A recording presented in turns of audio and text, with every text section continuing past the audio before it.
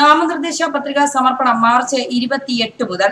പ്രവൃത്തി ദിവസങ്ങളിൽ രാവിലെ പതിനൊന്ന് മുതൽ വൈകിട്ട് മൂന്ന് മണി വരെ പത്രിക സമർപ്പിക്കാം. ഏപ്രിൽ നാലിനാണ് പത്രിക സമർപ്പിക്കാനുള്ള അവസാന തീയതി. അഞ്ചിന് സൂക്ഷ്മ പരിശോധന.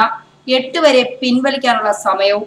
ലോക്സഭാ തിരഞ്ഞെടുപ്പിനുള്ള നാമനിർദ്ദേശ പത്രികൾ മാർച്ച് ഇരുപത്തിയെട്ട് മുതൽ സ്വീകരിക്കും. ഭരണാധികാരിയായ ജില്ലാ കളക്ടർക്കാണ് നാമനിർദ്ദേശ പത്രികകൾ സമർപ്പിക്കേണ്ടത്.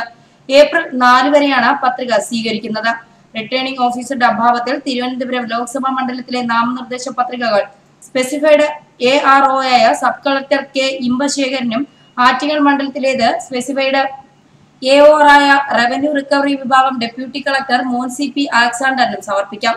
പ്രവൃത്തി ദിവസങ്ങളിൽ രാവിലെ പതിനൊന്നിനും വൈകിട്ട് മൂന്നിനും ഇടയിലാണ് പത്രികകൾ സ്വീകരിക്കുന്നത്. ദേശീയ സംസ്ഥാന പാർട്ടികളുടെ സ്ഥാനാർത്ഥികൾക്ക് ഒരു നാമനിർദ്ദേശകൻ മതിയാകും.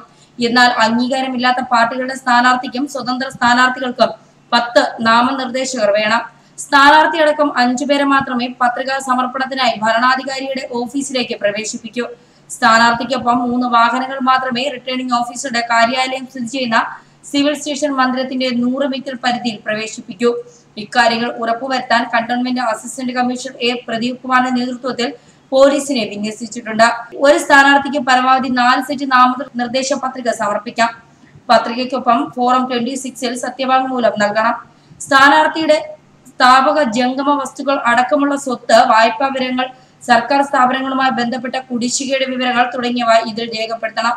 പത്രിക സമർപ്പിക്കുന്നയാളുടെ പേരിൽ ക്രിമിനൽ കേസുകൾ ഉണ്ടെങ്കിൽ അവ സംബന്ധിച്ച് എഫ്ഐആർ അടക്കമുള്ള പൂർണ വിവരങ്ങളും ഫോറം ട്വന്റി സിക്സിൽ പരാമർശിക്കണം. ഇരുപത്തി അയ്യായിരം രൂപയാണ് സ്ഥാനാർത്ഥികൾ കെട്ടിവെക്കേണ്ട തുക.